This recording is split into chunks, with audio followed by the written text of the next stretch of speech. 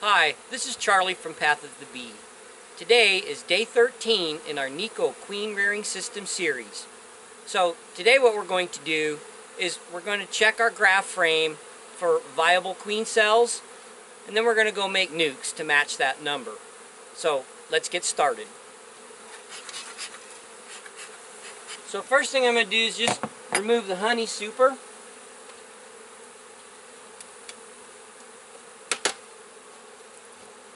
Also be able to check for how much honey I got coming in. And it's feeling heavy. Oh, Lord. That. Getting full, which is a good sign. Okay, I'm going to smoke the bees off the top bar here.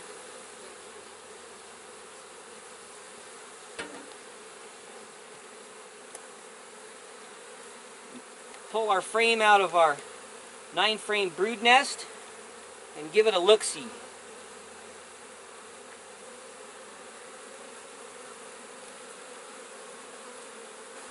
Okay, looks like I've got a non-viable one here. So, I don't know about this one here. It's kind of short, but I'll stick it in a nuc and see what happens. So that makes 29 out of 30. Give them a little smoke, get them off the top bars and off the edges. Then I'll put my honey super back on. And it's getting heavy. While I'm here, I'm going to check and see if I need to add a, a super to this hive.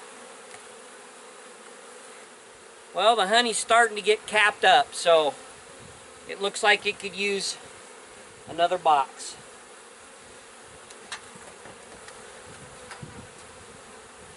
Okay, now we'll head on out to our other apiary and uh, we'll make up a bunch of nucs.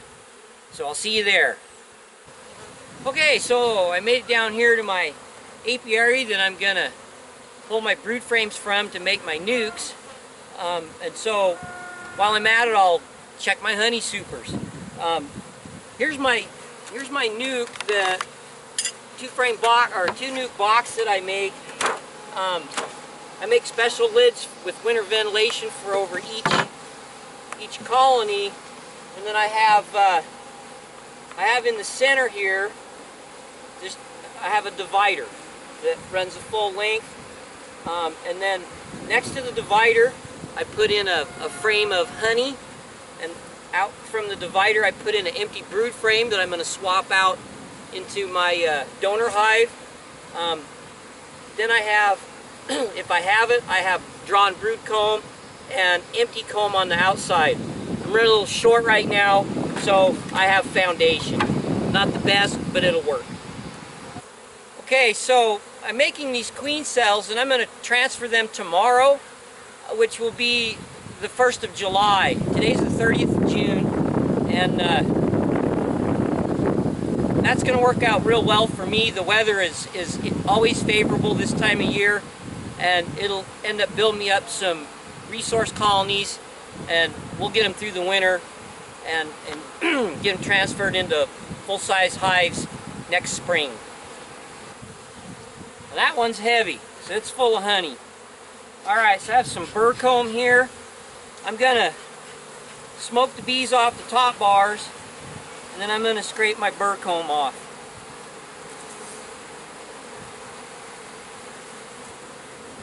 Alright, now I'm just going to start my way in and look for a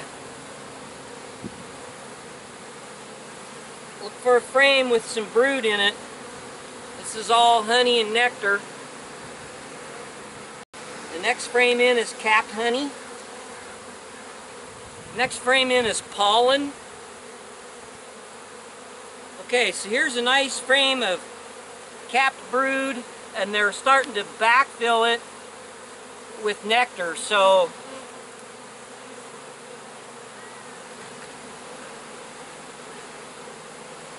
if I'm not careful, they'll uh, they'll start thinking about swarming here pretty soon. There's still some open spaces in here. I'm going to look for the queen very carefully. and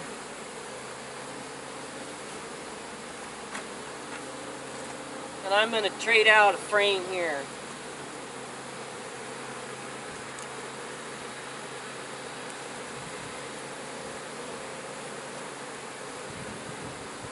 I'm going to skip a frame. Okay, another nice frame of brood. No queen. We'll trade it out.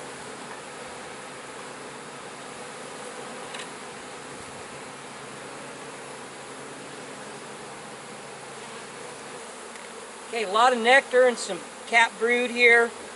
Um, look for the queen. If I don't see her, I'll give this a shake into the colony um, that I'm making just to give it enough strength to keep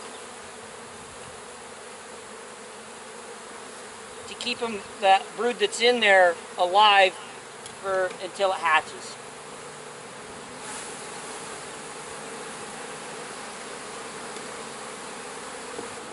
Okay, no queen. I'll give it one more shake.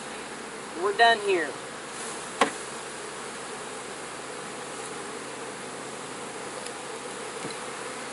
I'll put the lid on these guys.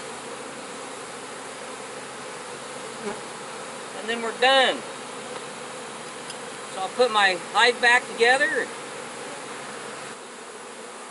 Alright, so that's it for this video. If you have any questions or comments, please leave them in the comment section below. I hope that you enjoyed. Thanks for watching.